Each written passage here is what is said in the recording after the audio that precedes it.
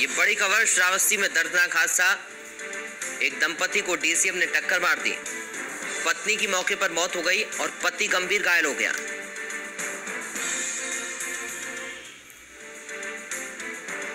शव को कब्जे में लेकर पोस्टमार्टम के लिए पुलिस ने भेजा है और पूरे मामले की जाँच शुरू कर दी है।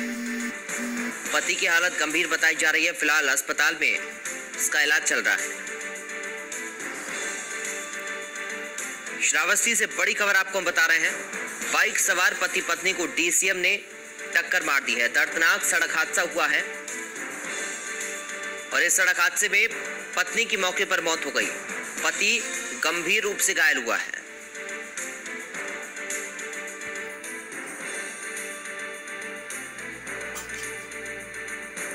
पुलिस ने शव को कब्जे में लेकर मामले की जाँच शुरू कर दी है। पोस्टमार्टम के लिए शव को भिजवा दिया है। और पति का इलाज अस्पताल में जारी। टक्कर इतनी जोरदार थी कि पत्नी की मौके पर ही मौत हो गई।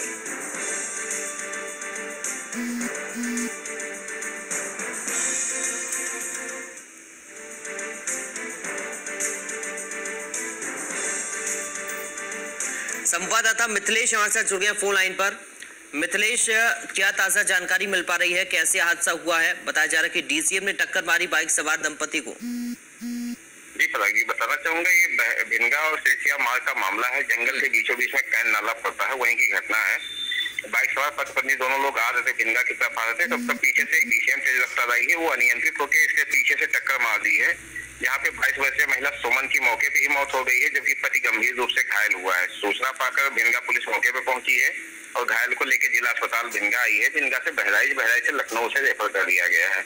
मिथिलेश क्या डीसीएम का ड्राइवर जो उसको चला रहा था गिरफ़्तार हुआ अभी तक? डीसीएम का ड्राइवर जो था वो गाड़ी छोड़ के वहाँ से फरार हो गया है।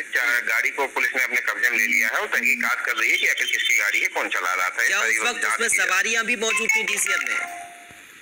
नहीं सवारी नहीं थी वो कई माल लेके गया था वो माल छोड़ के वापस आ रहा था। हम्म। और उस समय उसमें कोई नहीं मिला है जो भी थे भी अगर वो तो मौके पे भाग गए हैं वहाँ से कोई मौके से बरामद नहीं हुआ है, केवल गाड़ी वहाँ बरामद हुई है। पुलिस उसको पत्नी की तो मौके पर ही मौत हो गई लेकिन पति की हालत फ़िलहाल कैसी है? जिस तरह से आप बता रहे हैं कि रेफर किया गया है। जी तो उसकी हालत बेहद नाजुक है तभी उसे बहराइच से लखनऊ रेफर किया गया है ट्रामा सेंटर में उसका उपचार किया जा रहा है। चलिए बहुत बहुत शुक्रिया मिथिलेश तमाम जानकारी के लिए।